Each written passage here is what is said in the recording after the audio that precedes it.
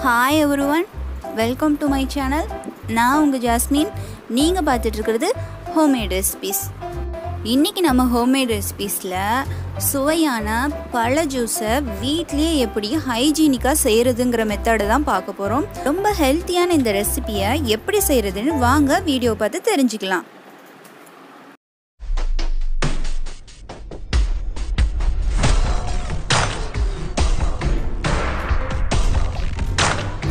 நான் இங்கே பழ ஜூஸ் செய்கிறதுக்காக வாழைப்பழம் வாங்கி வச்சுருக்கிறேன். நீங்கள் எந்த வாழைப்பழம்னாலும் யூஸ் பண்ணிக்கலாம். அடுத்ததாக ஒரு ஆப்பிள். அதுக்கப்புறம் ஒரு மாம்பழம். மாம்பழம் நல்ல பழுத்த மாம்பழமாக எடுத்துக்கோங்க. அப்புறம் ஒரு மாதுளை. அப்புறம் கொஞ்சம் கிரேப்ஸ் நான் இங்கே ஒரு ஹாஃப் வாட்டர் மெலன் தர்பூசணி எடுத்துருக்கிறேன். நீங்கள் வேண்டான்னா ஸ்கிப் பண்ணிக்கலாம். அதுக்கப்புறம் ஸ்வீட்டுக்கு நம்ம நன்னாரி சர்பத் ஆட் பண்ணிக்க போகிறோம் நான் இங்கே எல்லா ஃப்ரூட்ஸையும் கட் பண்ணி எடுத்து வச்சுருக்கிறேன். தர்பூசணி அதுக்கப்புறம் மாம்பழம்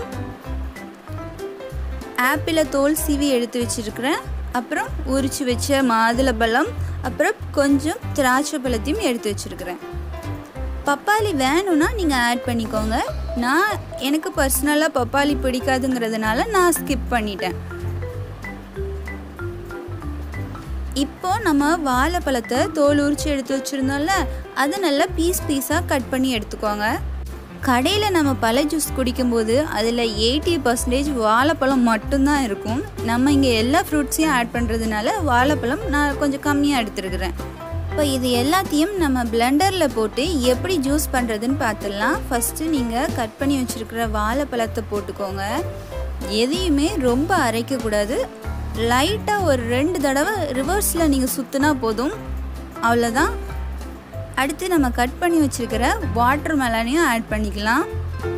நம்ம தர்பூசணியை ஆட் பண்ணும்போது நம்மளுக்கு அந்த ஜூஸோட கலர் அப்படியே கிடைக்கும். இதை நல்லா மிக்ஸ் பண்ணி லைட்டாக திருவிக்கோங்க. நீங்கள் இது மிக்சியில் போட விருப்பம் இல்லைன்னா நீங்கள் ஒரு மத்து வச்சு கூட அது நல்லா கடைஞ்சி எடுத்துக்கலாம்.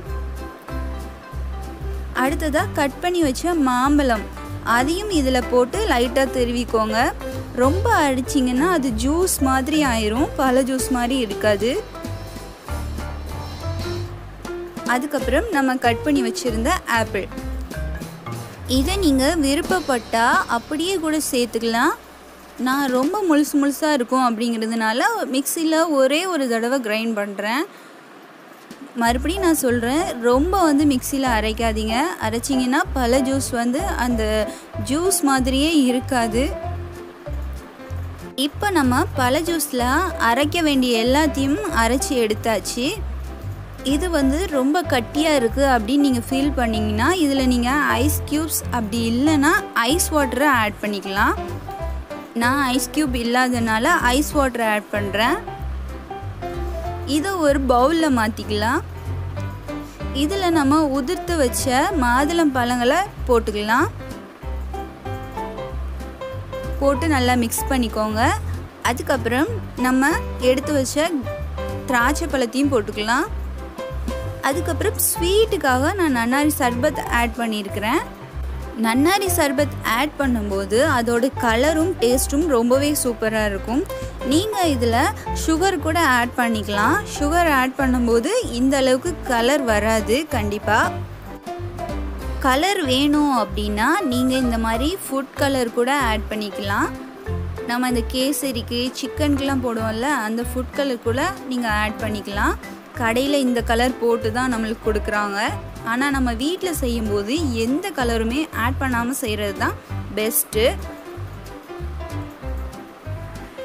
ரொம்பையும் டேஸ்டியான பழ ஜூஸை நம்ம வீட்டிலே செஞ்சாச்சு. இதில் நீங்கள் உங்களுக்கு விருப்பப்பட்ட பழங்கள் எதுனாலும் நீங்கள் சேர்த்துக்கலாம். அன்னாசி பழம் பப்பாளி பழம் எந்த பழம்னாலும் நீங்கள் சேர்த்துக்கலாம். அது உங்களோட விருப்பம். கடையில் செய்யும்போது இவ்வளோ க்ளீனாக இவ்வளோ சுத்தமாக செய்வாங்களான்னா அது சொல்ல முடியாது. அதனால் பழ ஜூஸை எப்போவுமே வீட்லேயே செஞ்சு சாப்பிடுங்க. அதுதான் உங்கள் ஹெல்த்துக்கு ரொம்ப நல்லது. இது எப்படி இருந்துச்சுன்னு சொல்லி உங்கள் வீட்டில் ட்ரை பண்ணி பார்த்துட்டு கீழே உள்ள கமெண்ட் பாக்ஸில் கமெண்ட் பண்ணுங்கள் தேங்க்யூ ஃபார் வாட்சிங்